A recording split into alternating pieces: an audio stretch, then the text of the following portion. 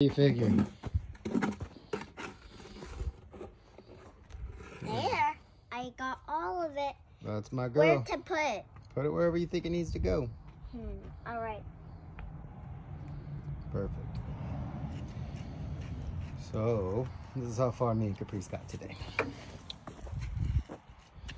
We dug these holes, filled these in, filled that in, dug this, stapled the, what is this called? Shelving, racking wire, stapled it in place, filled it in with concretia, and then we worked around I see you. You're all done with chicken coop.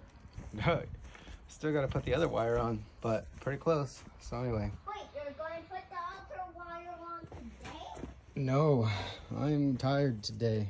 What I'm gonna do tomorrow is I'm gonna dig trenches just like I did around here, around this side, connecting those trenches all the way across and basically putting this wire so that way any coyotes or animals who are good with digging have a little bit more hard time getting in to where our chickens are gonna be.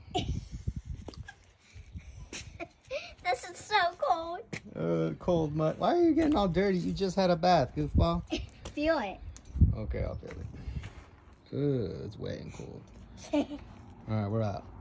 now I'm going to throw it over the fence. Boom. Boom, baby. All right, we're out.